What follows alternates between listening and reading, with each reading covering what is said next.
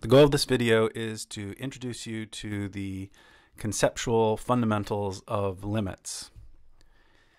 So we're going to start with an example. Here's the Cartesian plane, and we're going to drop a curtain over it.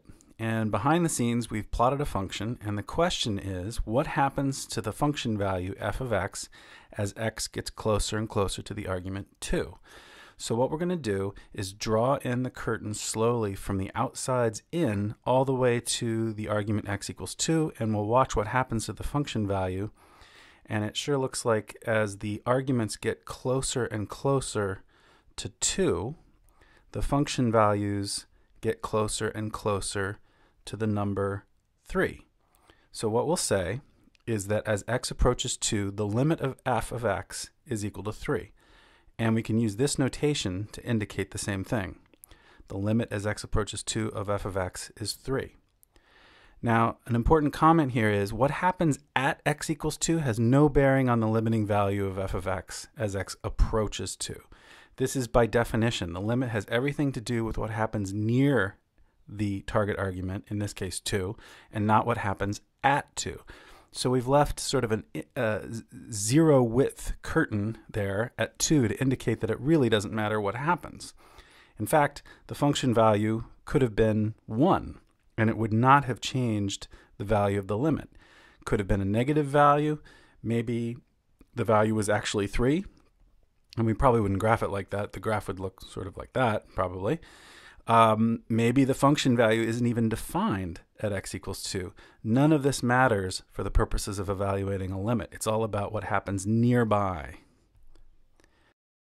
When we see this notation, the way you should read it is as the argument x gets closer and closer to the number a, the function value, f of x, gets closer and closer to the number l.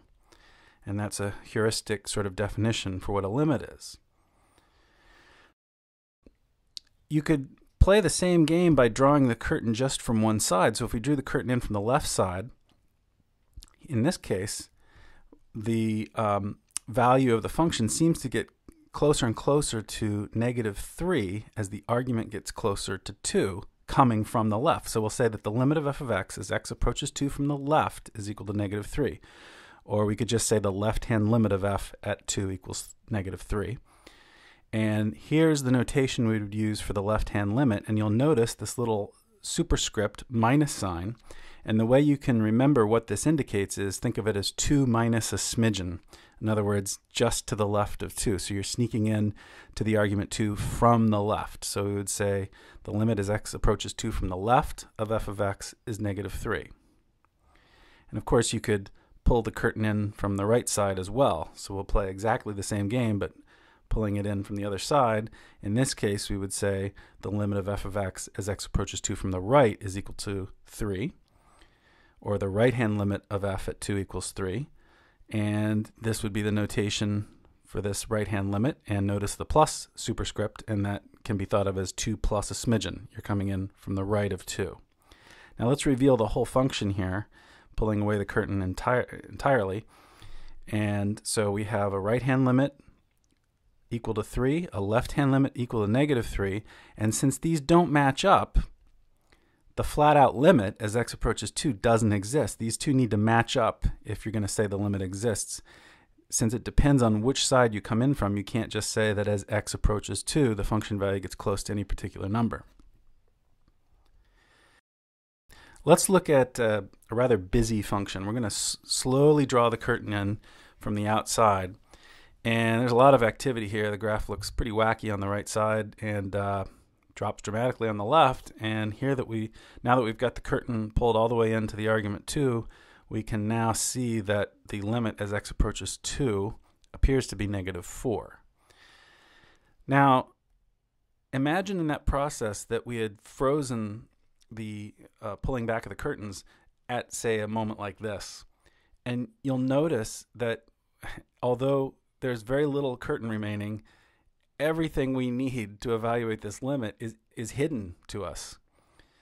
Put another way, everything that happened over here and over here turns out in the end to be completely irrelevant to the issue of finding the limit. So even though there's a dramatic change in the function um, close to 2, um, and all sorts of crazy things are happening to the right of 2. None of that matters. Everything that we need to evaluate the limit turns out to be hidden behind that little strip of curtain. It's all it all has to do with what happens near 2. And no matter how much information you already have, if you don't have it all, you need more. So maybe pulling back the curtain isn't really the best way to think about exploring a limit. Maybe what we need to do is somehow uh, apply an accordion zoom. So we're going to pull out from the line x equals 2, we'd like to pull the graph out and really examine what happens to it. So let's explore this idea with um, an example of what we might call an uncooperative function. Here's a real function that's been plotted on GeoGebra. And at this scale, when you look at the graph and the numerical data, it sure looks like the limit as x approaches 0 of f of x is 1. Really looks like it. But what we're going to do is apply an accordion zoom along the x-axis, and we're going to see what happens. At first, everything looks perfectly consistent with the conjecture that the limiting value as x approaches 0 is 1. But then a funny thing happens. As we continue to zoom in, the bottom seems to drop out of the function, and now you can make the case that it appears the limiting value as x approaches 0 is negative 1. But then, if we zoom in further, suddenly we start coming to the opinion that perhaps this limiting value as x approaches 0 is 2. Now we really don't know what's going on. Is it the case that as we continue to zoom, we're surprised by more jumps in the apparent limit? So here's the bad news. Numerical data just is never sufficient evidence for evaluating a limit with certainty. And if you had a computer generated graph, it might look better, but it really doesn't do the job either. It's not evidence for evaluating a limit with certainty. What's going on here is limit like ideas, although they've been around for a long, long time, it was only relatively recently that mathematicians were able to sort out the proper definition of a limit to make the theory hang together. And this is what the technical definition of a limit looks like. It's quite imposing. If, if you want to sort of understand what it really means, it's basically the way of guaranteeing there won't be any surprises when you do an accordion zoom. The good news is understanding the technical definition of a limit is to learning and using calculus as knowing how an engine runs is to driving a car. You want to drive a car, you don't really need to know how the engine runs. It would be helpful. It would inform you a lot about how you drive, but you don't need to understand how the engine runs to drive a car. Similarly, you don't need to understand that technical definition of a limit to learn and use calculus fruitfully. However, if you intend on actually truly deeply understanding calculus, you will have to confront that technical definition and sort of go through the whole development of the theory through that sort of idea. And that typically these days is left to a college course, and even then, a more advanced course, probably in a, a class that would be called analysis, real analysis. More good news.